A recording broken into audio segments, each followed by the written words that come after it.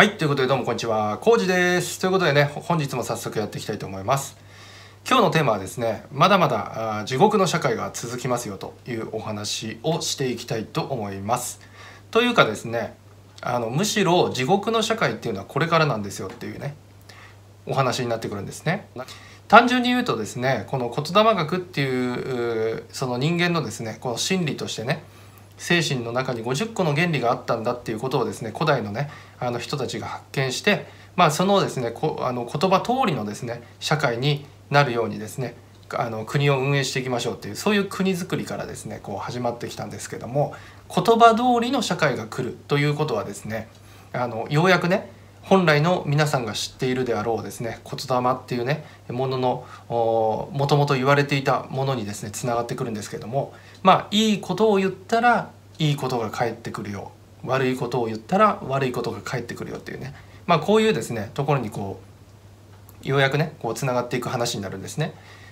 いい社会を作るにはですねいい言葉をですね組んだ組んで似せたですね社会にこうしていく必要性があるんですけれども悪い言葉の方にですね組んで似せていくとですね、まあ、悪い社会がこう出来上がってしまうわけですね。で僕はですねあのここ最近ですねあの政治的なお話がもっと聞きたいですっていう質問も来たりするんですね。で投票は行ったんですかとか誰に投票したんですかっていうふうに聞かれたりするんですけども、まあ、こういうことも含めてですね、まあ、今からねちょっとお話しする部分をですね聞いていただきたいんですけれども昔はですね政治的な役割役職についていた、まあ、天皇のですねこの下にあのついていたねそういう人たちというのはですね後から送り名というものをつけていたんですね。役職に対する働きに対する功績をですね称えて後から送り名を与えていたということなんですね。なぜ後から送り名を与えるのかというと、まあ、言霊学もそうですけども脳内で発生したまずイメージというものをですね言葉に組んでそれをですねあのつなぎ合わせてねポンポンポンとこう風とともにねあの息とともにそれをこう発して現象界を飛んでったですねこの言葉というものが人間の耳に当たってですねそれがこう整理されて今何て言ったんだろうとあこういうふうに言ったんだっていうふうにねあのいわゆる「鳴った」っていうね音が鳴った言葉が鳴ったっていうねでこれが成立の性としてなったっていうふうにねなるわけなんですけどもそれはですねいわゆる後天の現象なんですね。先天の現象というのは人間がその言葉をですねこう作って結び合わせてパーンって発している時が先天なんですけども後天というのは、まあ、耳に当たってそれをですね聞いてあの整理するっていうね段階でああこういうふうに言ったんだというふうに納得した瞬間にですね名というものがですねこう決まるわけですね。そういうですね言霊の法則をですね使ってその法則の通りにですねあの順序正しくですねこう作っていくっていうような意味で後から人間に対しても最初のですね意思とかね感情とかであの俺はこうしたいんだとかねああしたいんだこういう国に作っていきたいんだみたいなねこういう意思表明をしたところでその人が実際にその通りにですね社会を作っていくかっていったらそれはまた別の問題であると。つまりその人が実際に行ったですね活動のね内容を見た上でこういうことをやってきたんだというね明らかな実装そしてそれに伴う結果を見てですね初めてここに「送りな」というものをつけてこの人はこういう活動をしたんですよと。まあ前にもですねいわゆる「うつしひ金作の御事」っていうね綿摘みのお話をしたんですけども、まあ、それもですね外国文化のね一切をこう持ってきた時にですね、まあ、日本語の大和言葉に乗り換えていった。まあ分かりやすく言うと漢文とかが入ってきた時にこの漢文をですねまあ整理してねいろいろ整理して学問的にですねこう並べ替えて、まあ、大和言葉のですねどこに当たるのかっていうねことをですねこう整理してやってったっていうねこういう活動をしている人たちをですね後から送り名として「うつしひ金作の御事」っていうふうにねこう名付けたわけですね。つまり何が言いたいのかというと日本というのはですね古代からね「神ながらこと上げせん国」っていうふうに言われてるんですね。こと上げをしない。こと上げっていうのはですねあの意思を大きく表明する掲げる宣言するっていうねこういう意味なんですけどもこと上げをしない国なんだよと。常にですねその大和言葉からなるですね言葉の実相そのものがですねもうそのままのありの姿をね表しているわけですからそのありのままの姿をですね表した社会をですね作っていくっていうことが、えー本来のですね政治の祭りごとっていうねことだったんですね。だからわざわざ誰かに対してね「私はあなたにありがとうと言いたい」みたいなねこういう宣言とかあの意思表明っていうものは必要なしにまあその場でですね「ありがとうございました」というふうにまあ大和言葉で言えばですねそのままダイレクトにねこう伝わっていくっていうねこういう言葉の性質がですねこの大和言葉日本語にはですね、まあ、あるわけなんですね。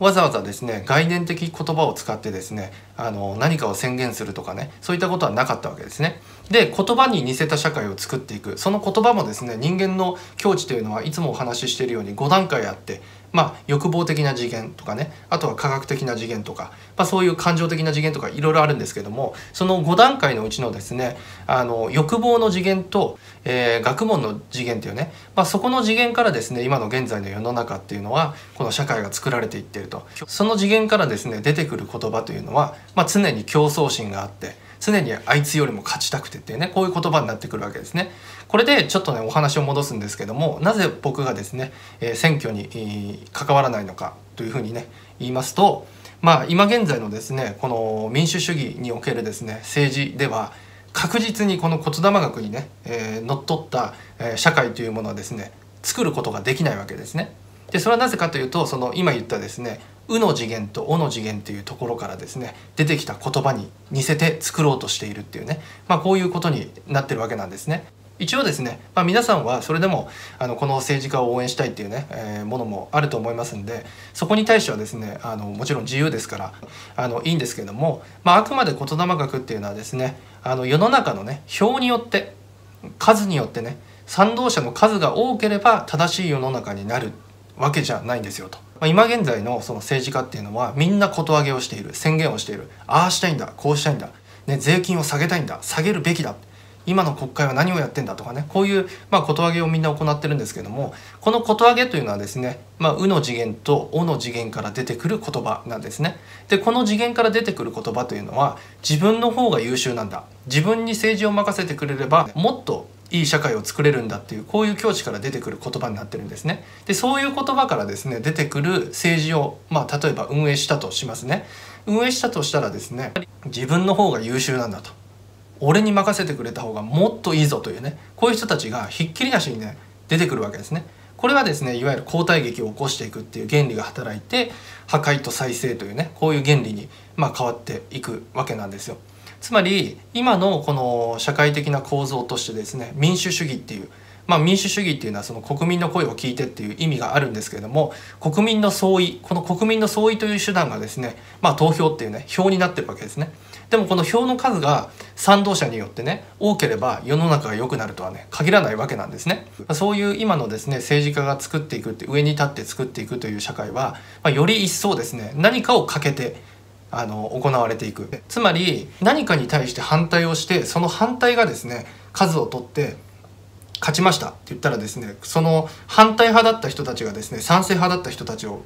無視していくっていうねこういう社会になっていくわけですね。そうなってくるとまたその中から反対派が生まれてきて今の政治に対する反対派が生まれてきてっていうどっちが優秀かっていうねこれをずっと争っていくっていうことになるわけですね。今のね国民の方からもねすごく感じられるものなんですけれどもまあインターネットっていうものを通して皆さんねすごくあの発言をいろいろしてると思うんですけれどもまあ昔の人たちっていうのはこのね言葉の力っていうものをですねちゃんと慎んだ上であの発していた。極力ですね言葉にしないっていうことをですね心がけていたんですね。モーセのね実会の方にもですね規律としてむやみにね神の名を唱えてはならないというふうに書かれてるんですけども、まあ、神というのはね何度も言っているように言葉のことですからむやみに言葉を唱えてはならないんですよっていうこういう規律それが道徳としてですねあの書かれてるわけですねすごく大事なんですよってことをですねあのモーセすらも言っていたそれをですね忘れてしまってもうああでもないこうでもないと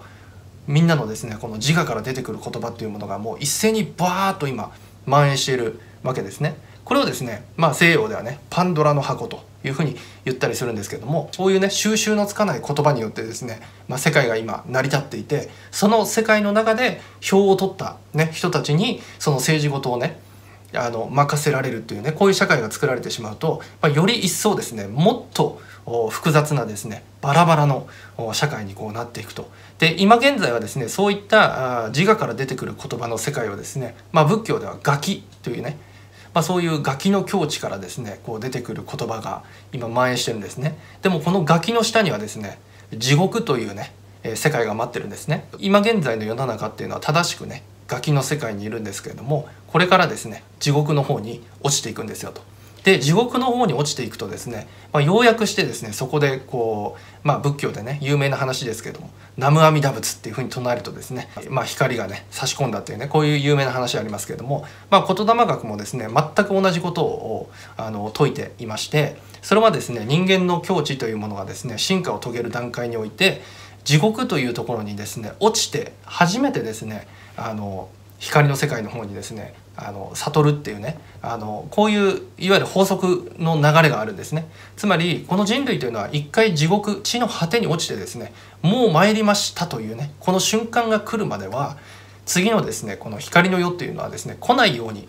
いわゆる法則としてそういう順序としてね必ずそういうふうになるようになっているっていうふうに、えー、まあ、書かれているわけですね。つまりこれからですね待っているのは地獄の世であってこの地獄の世でですね世界中のいろんな人たちがですね反省の心によってですねもう参りましたというふうになるまではですねえー、この過酷な状況は続いていくと、まあ、今現在はですね皆さんねもう参りましたとはなってないんですね。むしろその逆を言っていて全て自分のせいではなく他人のせいであってね、先生のせいであって親のせいであって、ね、政治のせいであってあいつのせいであって宗教のせいだ、ね、これは全部こう社会のせいにしてるっていうその慢心のですね言葉から出てきているね言葉になってますのでその次元から出てくる言葉そしてその次元にいる人たちが共感している人たちに対して政治を運営任せるということはですねもうその通りのね、え、地獄の社会にこう作られていくっていうねこういう流れになってますので、えー、自らがですね自己反省として参りましたというふうにね、えー、世界中がですねえー、ならない限りはですね、まあ、次のね社会の方に移行するということはですね、まあ、当面先のお話になってくるということなんですね。そして、えー、その次のですねこの光の社会と言われている社会のですね、えー、政治ごとをですね運営していくというのはですね14万4千人であると、まあ、これもですねちょっとねあの機会がありましたらね別の時にお話ししたいと思うんですけども、まあ、そういう政治ごとが行われるどのように運営されると世の中は丸く収まっていくのかっていうことがですね書かれている内容が大原江祝詞っていうね、まあ、祝詞があるんですけどもその祝詞の中にですねこういう運営になるんですよっていうことがですねまあ書かれているわけですね。なので、えー、これもですね、まあ、機会がありましたらお話をしていきたいと思います。まあ、つまり今日のね、えー、要点として大事なのはですね、言葉をちゃんと慎むということとですね、えー、概念的な言葉をですね、あの使って宣言をしないというね、この辺をですね、心がけていくことによってですね、大難をですね、ものすごくね、こう抑えるっていうね、ことにもつながってくるかと思います。ということで、えー、本日は以上になります。えー、そしてですね、8月の6日のですね、えー、オフ会なんですけどもまあもろもろのですねあの事情がありまして人数がですねもう100人を超えてしまって会場がですねなかなかあの見つからなくてですねあの会場は諦めました。ということで、えー、上野公園でですねやることになりましたので下にねあの概要欄にあの貼っときますんであのもう予約が必要なくなったのであの来たい人がですねあの来ればいいじゃんということでですねあの概要欄に貼っておきますので皆さんお時間ありましたらですねあの急遽ねあの来れるって方もですねあの予約とかね必要ないので来てくださいということで、えー、本日は以上になります。ご視聴ありがとうございました。バイ。